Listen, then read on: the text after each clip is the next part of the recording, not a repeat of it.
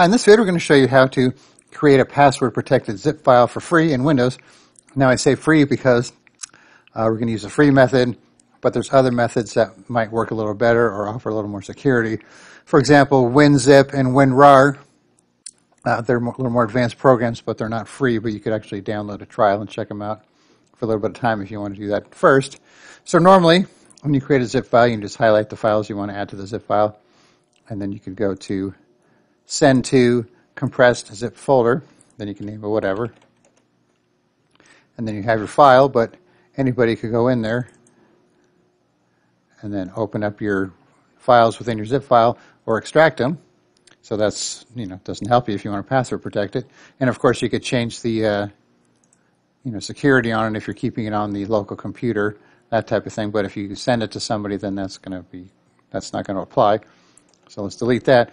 So for 7-zip, it's just a free download, easy to install. It's just a small little program. And then once you have it installed, same thing. You right click your files. Then you should have a 7-zip option.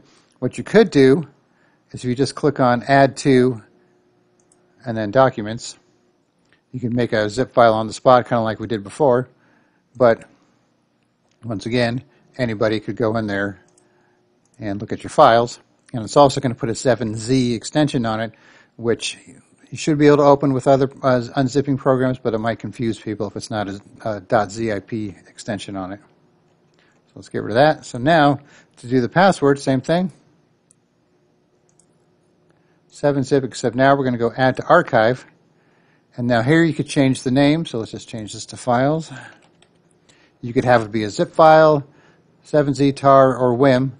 So for zip file, you have one type of uh, encryption here method, so AES 256.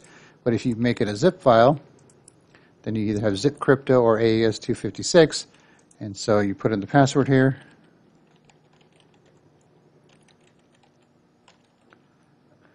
And if you got the name, got the type, compression level, you could do all these other options too.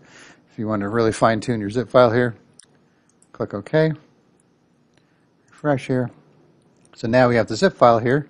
So we could open it up and it'll open up with the Windows uh, Explorer since it's a zip file. We could also open it with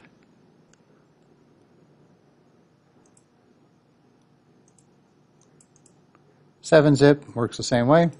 So either way, so let's pretend you know we sent this to somebody who doesn't have seven zip, and now when they want to try and open the file, they could see the file names, but if they try and extract one or open one, it wants the password. And if you try and drag it out of there, the password, and if, if I put it in, now it let me extract it there and I could open it up. So once again, um, download 7-zip, highlight your files, and you should have the 7-zip option. Add to archive, pick your file type, pick your name, uh, put in your password, and you should be good to go. I'll put the uh, link for 7-zip in the description, and you could uh, download it for yourself. All right, thanks for watching, and be sure to subscribe.